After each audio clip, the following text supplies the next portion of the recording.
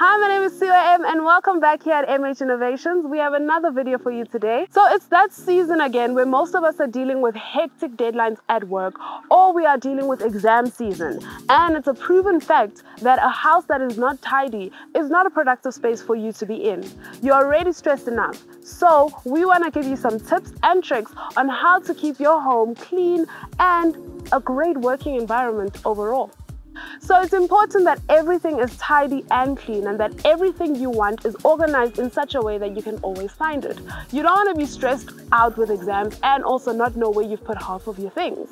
So before you conquer any deadline at work or any stressful exam, one, let's start with a clean and tidy workspace. It's already proven to help you already feel like you've got half of the job done.